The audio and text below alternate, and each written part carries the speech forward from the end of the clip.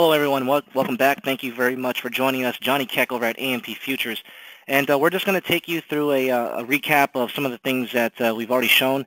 But I want to point out a few other additional functions uh, within the charting of multicharts.net uh, just to kind of go over a couple things to make sure that you have an understanding of some important aspects and functions that I want to show and demonstrate in this particular video segment. So the first thing is I want to show you how to access the data window. It's a pretty simple function. The data window is this little window that you see here to the left of the uh, June mini S&P chart. What that allows you to do is when you hover your mouse cursor over a specific candle, so let me just go ahead and blow this chart up for a second. And watch what happens when I hover my mouse cursor on any of these candles. You'll see that there'll be data that will populate within that data window. All right, so this is going to be uh, like, for example, you're interested in seeing open, high, low, close for a particular bar, or maybe um, you know whatever data range you set, you want to go back to a certain bar within that data range and just see what the market did within that bar, whether you're using a one-minute time frame or a 15-minute time frame. So this data window could be useful at times. So if I, for example, sometimes the customer might accidentally deactivate it as I closed it there, and then you don't see it anymore. So I want to just show you how to get it back if you accidentally close it. So what you want to do is you want to make sure you have the chart open as I do now, and just go to View at the very top here between File and Insert, and you're going to see an option that says Show Data Window. All right, so if you left-click on that option, now you're going to see that data window that will populate. And now you can just take your mouse cursor, scroll over any candle on the chart itself. And for in this instance here, you can see that on April 27th at 11.15, since I'm using a 15-minute time frame, uh, the price was 2085.10. That's just an average price. But the open was 80.75. The high was 88.75, 77 half low, and then 86 even close.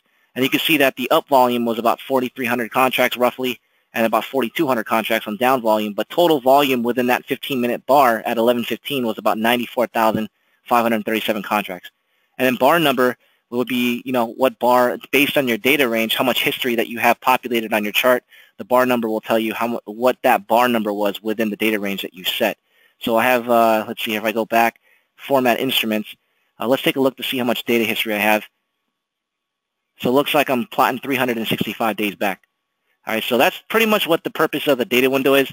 It's the main, it's a little function that's unique, not I don't want to say unique, but important to have if you want to be able to check information for a particular bar within the chart itself. All right, so if you do lose it, just go to View, and then go to Show Data Window, and you'll get it right back, as you can see here on the screen. Another thing too is uh, we get a, we get a lot of questions sometimes is if you have multi a multi-monitor setup, which most of our customers do, and you want to be able to move your chart outside of the workspace so let me show you what I mean. If I minimize this chart here, if you notice when I move the chart around, I cannot move the, the chart outside of the workspace. And that's because it's currently attached within the workspace. So if you want to be, if you want to detach the window and move it onto a different monitor, if you have a multi-monitor display, then just be sure on the top right corner of the chart, you're going to see a little icon that says detach window. And it looks like that little, little box with an arrow pointing northeast. So if you left click that box or that option, you will then see a pin option, which now this means that the window is detached from the workspace, and now I can move it outside of the workspace. So I, you can't see my other monitor at this moment, but I'm, I'm able to move the chart onto the other monitor. And how you know that it's activated is that pin option. And that pin, that stick window function right there, what that does is when I click on any window around the chart, you see how the chart just kind of goes away? So what that allows me to do now is if I pin it, no matter what window I click around that chart, that, that chart will always stay on top. So if that pin is facing south, that means that, it's, that you have the stick window option enabled, and therefore it cannot minimize unless you actually minimize it. All right, so that's what that sticky function does. And if you disable it, then it goes, you can see that the pin is facing west. So now if I click any window around it, you can see how that chart minimizes. All right, so that's pretty much how you detach windows. You, a lot of the, the windows that you see within multi-charts is going to have that, that similar icon. So that's the watch list, which we'll cover later in the video or better yet, uh, later in our series. But if you click that icon, that's that's how you detach windows, and that's a very common question that we come across is, hey, I have a multi-monitor setup. How do I move those windows onto a different monitor? Just be sure to detach the window, and then once you do that, you'll see that little pin icon, and that's how you know it's detached. And if you reattach it, that pin icon will go away. All right, so that's how you move different windows within multi-charts outside to different monitor displays if you have a multi-monitor setup. And then, of course, you have the, the toolbar at the top. The toolbar, as you start to get more familiar with the platform, you become more efficient in using the software. Uh, you know, you're going to start, you're going to find yourself using a lot of these shortcut icons on the top toolbar here. And uh, I'll probably, you know, later in the series, I'll get more in-depth in what some of these functions will do. But it's pretty straightforward. If you hover your mouse cursor over each one of those icons, it will tell you exactly what that icon represents. So you can see point and figure chart, for example. So if I left-click on this chart, this mini NASDAQ chart, I blow it up. And then I just, if I just go ahead and want to change this to a hollow candlestick chart, that's going to be an easier way versus right-clicking on the chart, go to Format Instrument, and then I'm going to have to click on the Style tab and change it from here. So you can see that's a four to five click process not as efficient as using the shortcut toolbar at the top. So as you become more familiar with the platform, this is probably going to be your go-to way of changing uh, certain chart types or perhaps using certain uh, chart tools that are available, such as the zoom in option here, or if you want a background drag, for example, if I click that background drag, I can now drag the, the chart around, as you can see. So that's going to be uh, probably the best way to really change and modify your chart just by using that toolbar as you become a little more familiar with the platform. And then in terms of color themes, uh, I want to show you when you right-click on the chart, let me go and disable the background drag.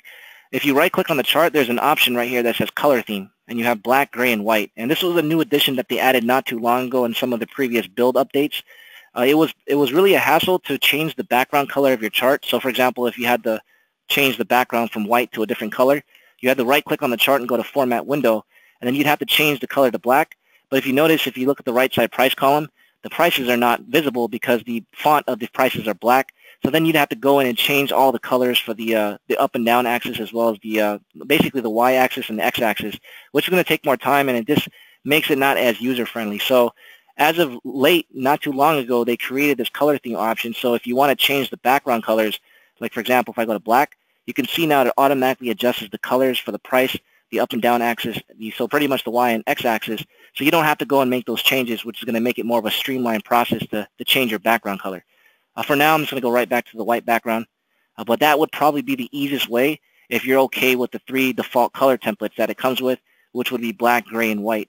This is what the gray background looks like. And uh, of course, you already saw the white. So that would probably be the easiest way to change the background if you are okay with those three default templates.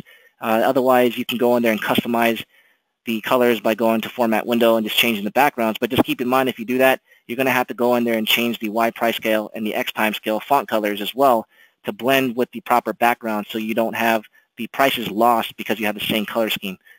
All right, so that's pretty much color themes.